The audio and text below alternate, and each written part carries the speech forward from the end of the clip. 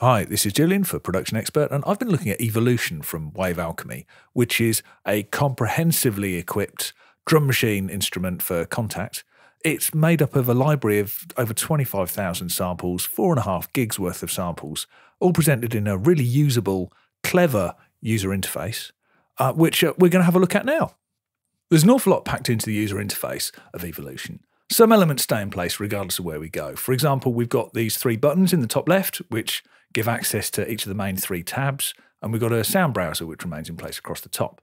At the bottom, we've got a pattern sequencer which shows the sequence on a per voice basis. But uh, most of the time spent in the mix window. So looking around here quickly, we've got four subtabs which give access to uh, the voice and insert, master, and send effects. But the browser is particularly interesting because the sound engine's made up of three elements drum, transient, and layer, and we can select and layer up three different sounds to make each voice in evolution. Here we've got the kick channel selected and we're looking at the settings for that. And here in the kick category, we're in mid and we have all of these sounds available in this subcategory of the kick category. We can also change between them using this select knob. But if we wanted to, we could uh, get into the transient element of that voice and uh, here we've got a different set of sounds available, and likewise for layer. We can blend between those in the XY tab, which we'll look at in a second. In the XY tab, we've got drum, layer, and transient, and this control point can place and crossfade mix seamlessly between them. So if I wanted just the drum element, for example, as opposed to the layer, and the transient. We've also got eight macros, which are assignable. We can set them to whatever we want in here, as well as access to volume pan and send effects. In the sequencer page, we've got access to all 12 tracks in each pattern, or we can go into a macro view where we've got access to uh, the note per voice and also all of the macros that we've set up in the XY page. This way, you can do some really detailed editing. But if you want to get really detailed with your editing, then uh, you can export by dragging and dropping from the MIDI export button at the bottom uh, into your DAW and uh, treat the pattern as an ordinary MIDI clip.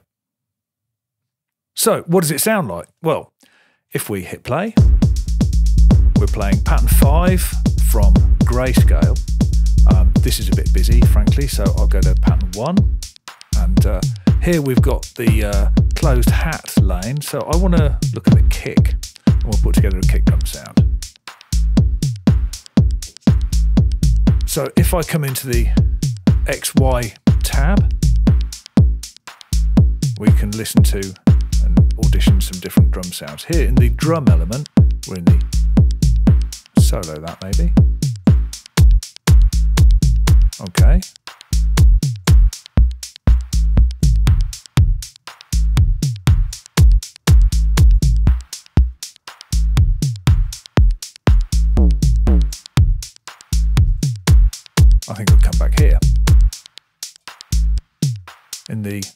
Layer,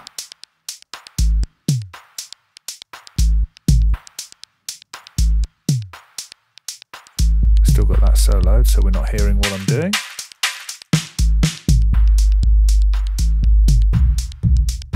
Something like that with a bit of body maybe. If I want some more options, I come in here Actually, I quite like all the sub on there. And then if we come back over here, we have this punchy kick and this very deep sound. Come onto the transient, I'll solo that. Although if I come over here, there's no need to because I'm in effect soloing it anyway. And in here,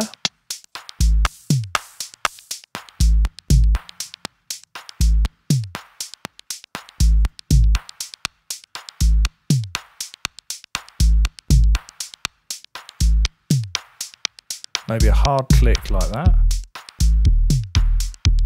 And here I've got kind of halfway between, I've got that deep subby element from layer with the transient from the transient engine. And if I want to introduce a little bit of that very punchy snare drum, and you see how quickly using this XY pad you can build up a sound that's just what you're looking for rather than what you've been given. So, what do I think of Evolution? I think it's fantastic and it's fantastic for the best possible reasons because it sounds brilliant. I really, really like the kicks and uh, things like this live and die by their kick drum capabilities. And if you can't get a good sounding kick out of this, then there's something badly wrong. Uh, the pattern length is global. You can, I always want to know how easy it is to work in triplets in things like this rather than having to work on sixteenths and stuff. And you can set the rate and the uh, pattern length and chain patterns together and get pretty much any resolution that you want, but all of those things are global. So if you wanted to run, say, 12 steps on the hi hat against 16 on something else, you can't do that. But apparently that is coming in an update. So again, that's kind of addressed. Overall, though, Evolution, fantastic sounding uh, drums, especially the kicks and all the kind of suzzy little kind of atmospheric sounds that go underneath. If programming beats and synthetic drums is your thing, you have to try this because it really is that good.